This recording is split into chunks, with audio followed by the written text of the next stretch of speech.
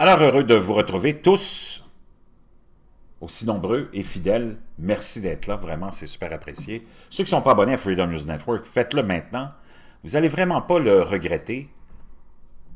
On est une belle grande famille, accueillante. Venez nous rejoindre. On est le 4 décembre 2019, 18h, 7h du Québec. Préparez-vous au pire. C'est ça le conseil qu'on se donne ici, parce que le pire est à venir, peu importe quelles sont vos positions, peu importe quelles sont vos croyances, il y a quelque chose qui défie tout ça, c'est la fatalité, c'est les cycles, c'est le destin, c'est la fatalité, c'est la divinité, c'est le cosmos, appelez-le comme vous voulez, qui a son plan. Le plan du cosmos, c'est pas notre plan. Et le plan du cosmos, on ne peut pas vraiment le comprendre non plus. On doit s'y adapter et y survivre. C'est comme ça. Et il n'y a rien qui a pu changer ça. Et il n'y a rien qui pourra changer ça, ni maintenant, ni dans l'avenir. Puis il n'y a pas un politicien qui pourra non plus défier le plan du cosmos, le plan divin, appelez-le comme vous voulez. Et dans ce plan-là, ben, nous autres, on en fait partie. Pendant ce temps-là, on voit les changements climatiques sont d'une ampleur assez euh, inquiétante et angoissante. On voit les, hein, les résultats, les dommages, les conséquences de tout ça sur l'agriculture, mais sur la vie des gens, sur leur possession, sur leur petit bien, hein, qui se fait emporter par des crues, par des inondations, des glissements de terrain, des tremblements de terre. La vie de leurs proches hein, est emmenée aussi dans tout ça. Ça laisse des cicatrices incroyables et c'est des drames quotidiens dont on parle jamais parce que ça intéresse personne, ça intéresse pas les élites. Les élites, tout ce qui les intéresse, c'est leur nombril. C'est que vous entendiez leur récrimination, leur doléance et rien d'autre.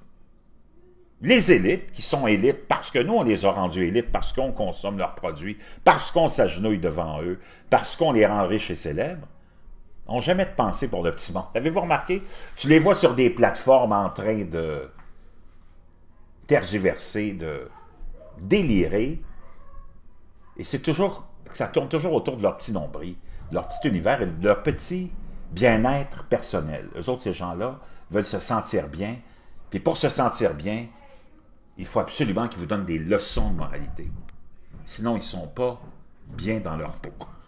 Pendant ce temps-là, Dame Nature, le plan cosmique, le plan divin fait son bonhomme de chemin. Et si tu as le moindrement de jugeote et d'intelligence, comme on dit par chez nous, tu te rends compte de tout ce scandale puis de cette fumisterie. Pendant ce temps-là, les changements climatiques s'installent. On est dans un minimum solaire, probablement grand minimum solaire, dû à l'inclinaison de la Terre, à Milankovitch, au grand minimum solaire, ou à tout ça réuni ensemble. C'est pas vraiment important. Ce qui est important, c'est les conséquences et le résultat de tout ça. De la neige jamais vu en Amérique du Nord depuis près de 20 ans. Froid précoce et tempêtes de neige à répétition ont permis de commencer le mois de décembre avec une étendue de neige considérable. En effet, ce début de mois est l'un des plus neigeux en plus de 15 ans de données en Amérique du Nord. Mais ce tapis blanc est inégalement distribué sur le continent. Certaines villes plus au sud narguent même le sud du Québec qui, lui, est en déficit. Le 1er décembre a marqué le début de l'hiver météorologique et cette année, cette nouvelle saison commence avec une étendue de neige au sol déjà imposante. On peut voir ici sur le tableau euh, les données euh, pour euh, les différentes années hein, à partir de 2005. Aux États-Unis, plus de 46% de la superficie sont couvertes par la neige, d'après l'Agence américaine d'observation océanique et atmosphérique, la NOAA, alors que les données sont compilées depuis 2003. C'est la première fois en 16 ans que l'on enregistre une telle étendue. On peut voir ici aussi sur le pardon, graphique. Seule l'année 2018 avait connu une étendue de neige au sol supérieure à 40% et cette année, là, comme en 2019, le froid avait frappé tôt à la porte du continent. La majorité des États-Unis avait connu un mois de novembre sous les normales, point de vue des températures. On peut voir ici, hein, 1, 5, 10, 20, 30 et 50 cm et plus, c'est ça les couleurs sur le graphique. L'image ci-dessous montre l'étendue de neige en date du 2 décembre 2019. On observe que l'Ouest a été le plus gâté. Une récente bombe météo est la raison pour laquelle les États-Unis ont aussi été gâtés en ce début de mois. Cette dernière a laissé jusqu'à un mètre de neige du côté du Colorado.